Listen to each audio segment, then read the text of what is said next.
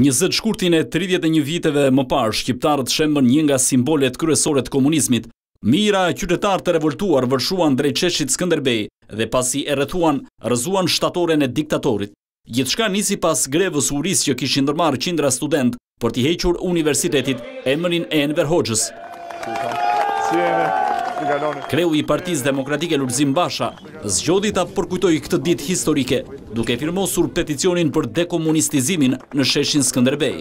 Na detyron, ne si parti politike, partinë demokratike, që t'i çojmë Kuvendit të Shqipërisë iniciativën ligjore për të ndaluar propagandën e regjimit komunist në programet e partive politike. për të ndaluar ligjërimin lavdërues të diktaturës dhe përdorimin e simboleve të regjimit komunist në hapësirën publike. Së dyti, vetingun e funksionarëve politikë dhe drejtuesve të institucioneve në raport me të shkuarën e tyre gjatë regjimit komunist si kusht i domosdoshëm për pastrimin e institucioneve të sotme të shtetit.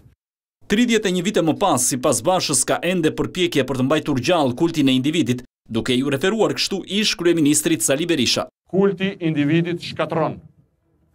Kulti i individit ngre një njeri të zakonshëm, një njeri si çdo njeri tjetër, bir nëne dhe babai dhe e bën zot apo gjysëm zot.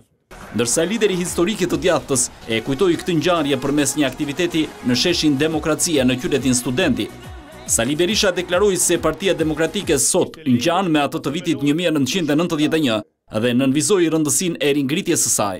Përsëri opozita shkau!